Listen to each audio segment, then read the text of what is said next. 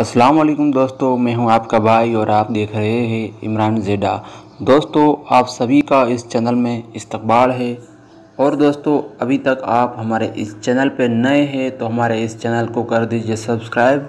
और आइए प्यारे दोस्तों, वीडियो को शुरू करते हैं। दोस्तों, आज से दो या चार दिन पहले एक टॉपिक बहुत ही ज़्यादा ट्रेंडिंग में था। हालाँकि उसे ट्रेंडिंग में होना चाहिए। अगर कोई इंसान, कोई बुज़ुर्ग है और वो अपना रोज़ी रोटी चला रहा है और उसकी रोज़ी रोटी नहीं चल रही है। हालाँकि ये किस्सा है दिल्ली का, बाबा का ढाबा, आपने नाम सुना होगा और आपने वीडियो भी देखे होंगे। एक 80 साल का बुज़ुर्ग है जो अपने घर की रोज़ी चला रहा है और उसके पास बिल्कुल कस्टमर नहीं जाते थे। हालाँकि हमने ऐसा बहुत सारा देखा है, कहीं पे कोई बुज़ुर्ग होगा तो लोग क्या सोचते हैं, वहाँ से अगर हम कुछ खाएँगे, पिएँगे तो उसमें लोग अपनी तोहिन समझते हैं। लोग अक्सर बड़े बड़े रेस्टोरेंट में जाके खाना खाते हैं, लेकिन दोस्तों, ये जो बाबा का ढाबा है, वहाँ भी यही हाल था। एक बंदा कोई व्लॉगर था, जो फ़ूड व्लॉगर था, वो वहाँ पर जाता है और जाकर बाबा का वीडियो बनाता है और वो वीडियो ट्रेंडिंग में आ जाती है और वो टॉपिक भी ट्रेंडिंग में आ जाता है। ऐसे अगर हम देखें तो ऐसे बुज़ुर्ग बहुत है, हर जगह पे है, सिर्फ़ दिल्ली में ही नहीं, हर जगह पे आपको ऐसे बुज़ुर्ग मिल जाएँगे।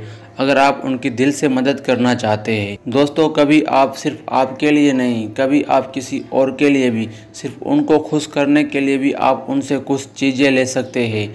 जैसे कि एक बंदा है, जैसे कि वो, जैसे कि एक बुज़ुर्ग है, वो सब्ज़ी बेच रहा है, उसकी सब्ज़ी में दम नहीं है हालाँकि फिर भी वो सब्ज़ी हमें ले लेनी चाहिए। अक्सर मेरे शॉप के पास एक बुज़ुर्ग गुजरता है और उसके पास भी सब्ज़ियाँ ऐसी ही होती है तो कभी कतार मैं भी वो सब्ज़ियाँ ले लेता हूँ। तो आज हम बात करेंगे एक बुज़ुर्ग के बारे में, जो कि मुंबई के रहने वाले हैं। अगर आपको इनका एड्रेस चाहिए तो इनका एड्रेस ये है, बेंदी बाज़ार के पास मुंबई में ये बुज़ुर्ग अपने परिवार को खिलाने के लिए महत्वपूर्ण, जैसे कि चैन है, ताला है, चाबी है, ये सब बेचकर अपना गुजारा करते हैं। हालाँकि उनके पास ग्राहक बहुत ही कम जाते हैं। अगर आप वहाँ से गुजर रहे हैं तो आपको कुंजी, ताला ऐसा कुछ आप खरीद सकते हैं और उनकी मदद कर सकते हैं। इस बुज़ुर्ग को देखिए, ये ठीक से चल भी नहीं पाते और ठीक से खड़े भी नहीं रह पाते। फिर भी ये अपना काम कर रहे, अपना गुजारा कर रहे आपने इससे पहले बाबा का ढाबा का तो आपने बहुत मदद की। अब आप कुछ इस बुज़ुर्ग की भी मदद कीजिए दोस्तों। बस आज का वीडियो हमारा यही था दोस्तों।